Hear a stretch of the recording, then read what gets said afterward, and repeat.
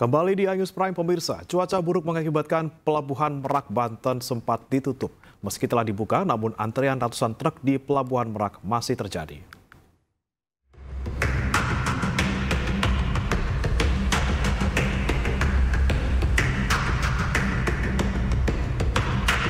Dampak cuaca buruk yang terjadi di Pelabuhan Merak, Banten mengakibatkan antrian panjang Sejak Rabu pagi, ratusan truk masih menunggu antrian untuk masuk ke dalam kapal. Angin kencang di sekitar Pelabuhan Merak menyebabkan pihak Pelabuhan SDP harus berhati-hati untuk menyeberangkan kapal tujuan Bakauheni Lampung.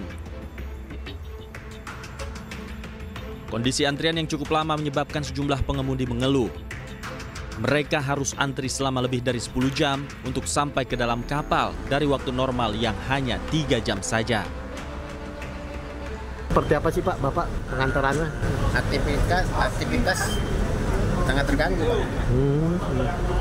Biasanya kita tiga jaman, ini lebih bisa-bisa sampai 10 jam 11 jaman.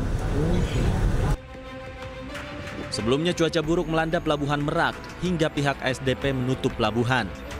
Pihak SDP tidak memberangkatkan kapal yang berakibat menumpuknya penumpang.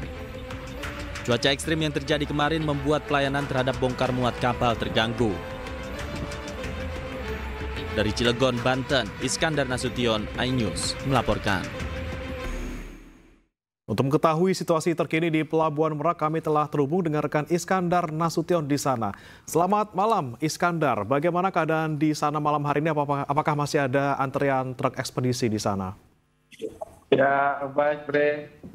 Selamat malam, pemirsa bisa uh, saya informasikan bahwasannya hingga malam ini uh, ratusan kendaraan masih menumpuk di dermaga di Luka satu di Pelabuhan Merak Banten. Hal ini diakibatkan beberapa jam yang lalu uh, cuaca buruk kembali melanda wilayah di perairan Selat Sunda Banten. Angin kencang dan hujan deras yang terjadi beberapa menit yang lalu itu sangat mengganggu aktivitas bongkar muat yang mengakibatkan uh, proses bongkar muat ini tersendat beberapa waktu karena pihak SDP sendiri tidak mau uh, melakukan tindakan berbahaya dengan menaikkan menurunkan uh, uh, bus dan truk yang akan menuju ke pelabuhan Bakauheni Lampung. Ikan brand. Berarti operasionalnya dibuka tutup sesuai dengan cuaca di sana atau seperti apa, Iskandar? Iya, Bu, uh, intinya tidak tidak ditutup ya, tapi memang ada uh, pengaturan waktu yang yang disebabkan uh, cuaca yang tidak membaik karena saat kendaraan masuk ke lambung kapal itu sangat berbahaya. Hmm. Yang ini membuat uh, pihak pengelola uh, kapal harus ekstra hati-hati menaik dan menurunkan kendaraan yang akan uh, keluar dari lambung kapal. Baik, berarti masih bisa masuk ke pelabuhan, namun ketika ingin bongkar muat ke dalam kapal dibatasi sesuai dengan kondisi cuaca di sana ya, Iskandar. Kemudian ya. kalau untuk operasional kapal yang ada di sana, apakah masih dibatasi oleh pihak pelabuhan? Ya, untuk saat ini memang uh, kembali tadi kembali ke kondisi cuaca ketika memang ada faktor cuaca buruk tadi memang uh, antrian kendaraan tadi tidak semua bisa masuk ke dalam kapal. Untuk diketahui bagi pemilik kendaraan, jika memang terjadi post major seperti ada bencana angin kencang dan hujan deras seperti ini, jika memang uh, pemilik kendaraan mengalami uh, tidak bisa masuk pada saat itu, hmm. pihak SDP menjamin tiket mereka tidak akan hangus. Nah, ini nantinya bisa di uh, berangkat dengan waktu berikutnya asal memiliki tiket yang resmi. Demikian. Oh berarti ini uh, antrian tidak hanya untuk truk tapi juga untuk kendaraan pribadi untuk penyeberangan orang seperti itu Iskandar?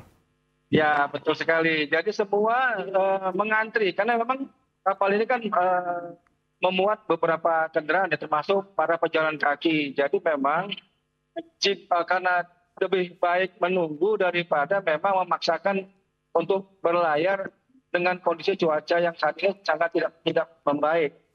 Demikian. Oke, tapi apakah ada informasi terkait dengan pengaturan di sana bagaimana agar antrian tertib ataupun bagaimana caranya mengurai agar tidak terlalu menumpuk di satu titik seperti itu, Iskandar?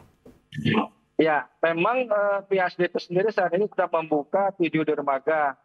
Ya dengan dengan mengoperasionalkan uh, sebanyak 29 kapal doro. Dan untuk namun demikian tetap uh, antrian tetap membludak uh, seperti yang ada di belakang saya ini.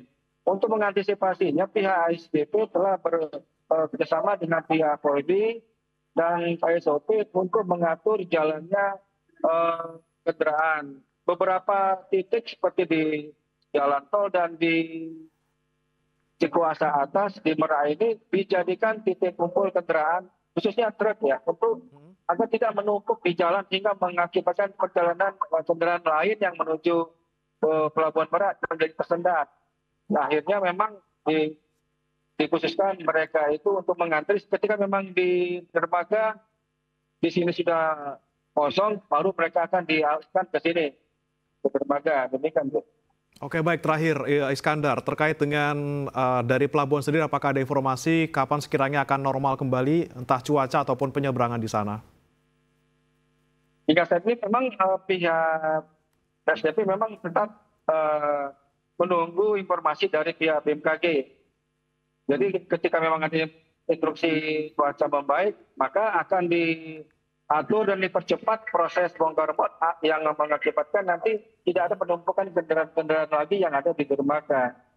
Baik, baik. Belum bisa dipastikan kapan akan normal kembali terkait dengan uh, cuaca dan juga penyeberangan. Terima kasih Skandar Nasution melaporkan langsung dari Pelabuhan Merak, Banten. Selamat bertugas kembali.